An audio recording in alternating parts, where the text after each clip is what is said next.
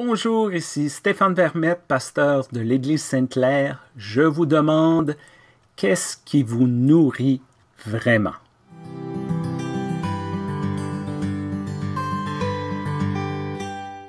L'Évangile selon Jean nous offre une série de déclarations tentant d'expliquer la vraie nature de Jésus, telles que Je suis la lumière du monde, Je suis le chemin, la vérité et la vie.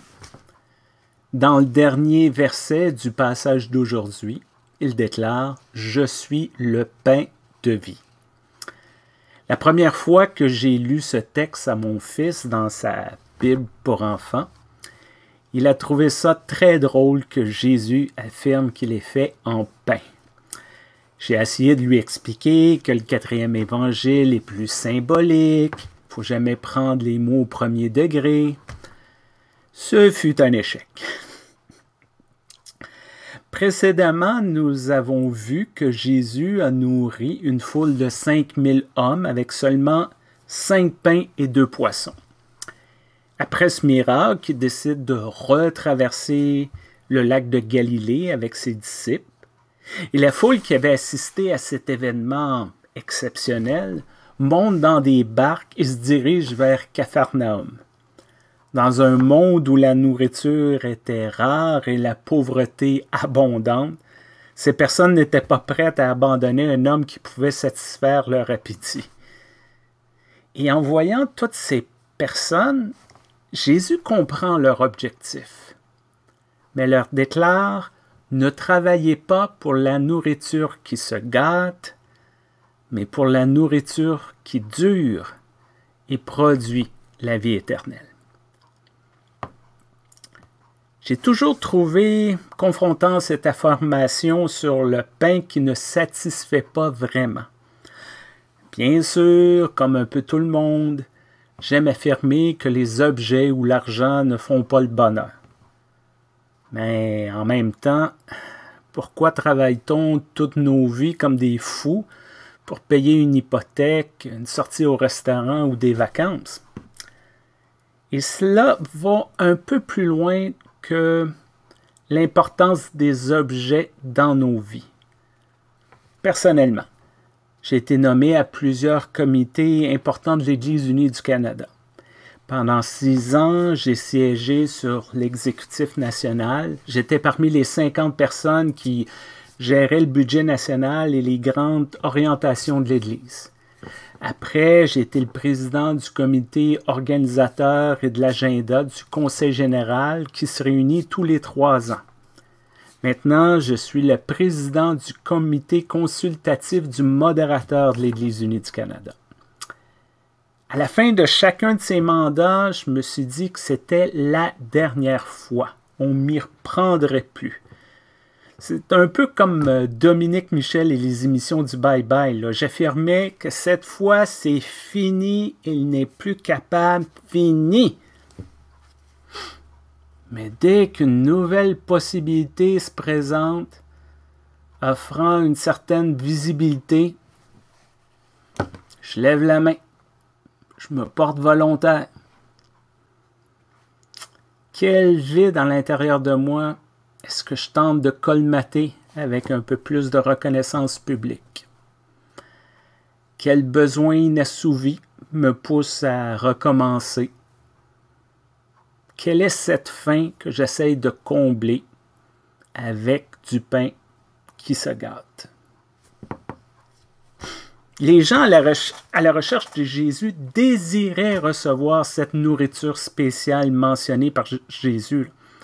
Voulait savoir s'il devait suivre un certain rite, euh, adopter une certaine pratique religieuse ou se convertir à une certaine croyance. Il voulait être sûr de faire la bonne chose. Il voulait connaître le truc, la recette ou le mode d'emploi qui leur garantirait des résultats.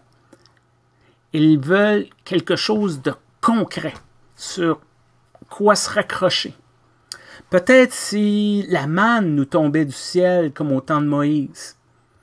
Peut-être si on nous disait exactement quoi penser et quoi croire.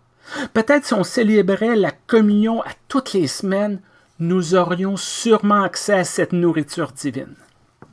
Peut-être si pour une fois une fois, Jésus nous donnait une réponse simple, claire et précise. Nous pourrions arrêter de perdre notre temps avec ce qui ne satisfait pas vraiment. Mais la réponse de la foule, la réponse, la réponse que la foule reçoit peut nous paraître énigmatique. Plutôt que leur donner des directives compréhensibles, Jésus invite les gens à un voyage intérieur pour identifier les origines de cette faim qui les gruge au plus profond d'eux.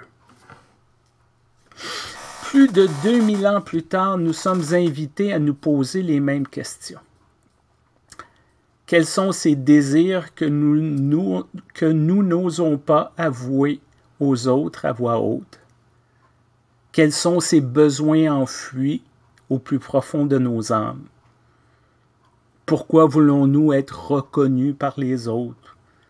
Pourquoi avons-nous tant honte de notre corps, notre faible niveau d'instruction ou notre impuissance à contrôler certaines dépendances? Quelles blessures essayons-nous de guérir en utilisant des raccourcis? Que tentons-nous de gagner dans tout ça? Trop souvent, la voie tracée par Jésus est comme une sorte d'abstraction, une série de rituels un peu vides ou des déclarations apprises par cœur. Nous consommons la religion sans trop vraiment y penser. Nous faisons semblant d'être nourris. Mais lorsque nous acceptons d'être honnêtes avec nous-mêmes,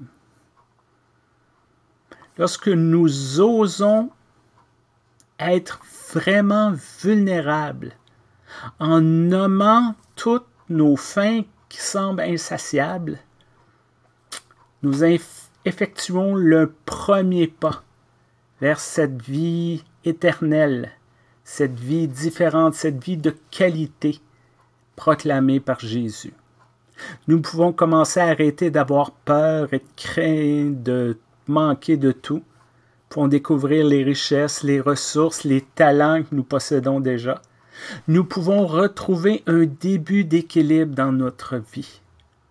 Nous pouvons apprendre à consacrer tous nos efforts et notre énergie pour trouver cette nourriture qui dure. L'un de mes groupes préférés a une chanson qui dit Est-ce que nos cœurs ont desséché à force d'aimer les objets. Notre propension à acquérir le dernier gadget, à épater la galerie par nos prouesses ou accumuler les positions qui paraissent importantes, nous amène trop souvent à perdre de vue ce qui est vraiment essentiel à notre bonheur. Pour être pleinement rassasiés, nous sommes appelés à faire un effort, à chercher et à trouver ce pain de vie que Jésus nous offre. Merci d'être là. Que vous écoutez sur YouTube ou sur Facebook, n'oubliez pas d'aimer, de cliquer, de partager, de vous abonner. N'oubliez pas de soutenir financièrement notre ministère. Prenez soin de vous. Bye bye.